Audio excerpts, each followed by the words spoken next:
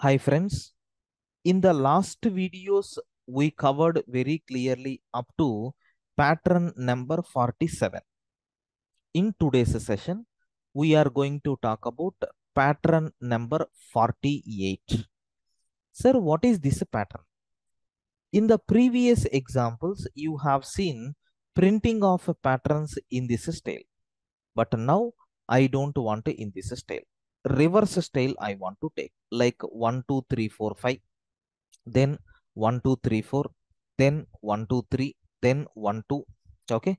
Next and after that 1. Like this I want to take. How to generate? Very simple.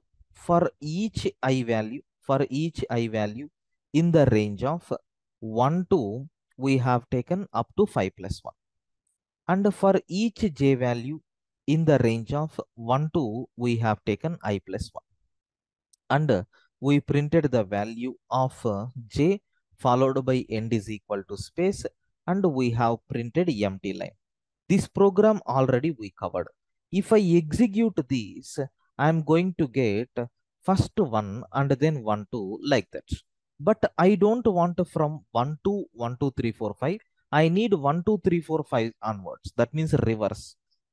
Just we have to change this. Don't start from 5 plus, uh, 1. Try to start from 5. Don't take up to, okay, 1 you have to take up to 0, up to 0. And step value we have to provide minus 1. First time, what will be your i value? 5.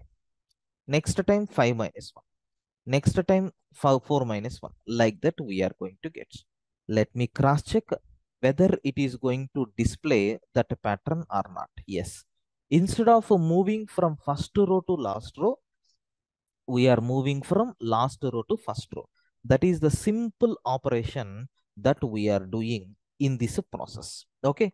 I think you people got very clear idea about this pattern number 48 also. Right? Thank you.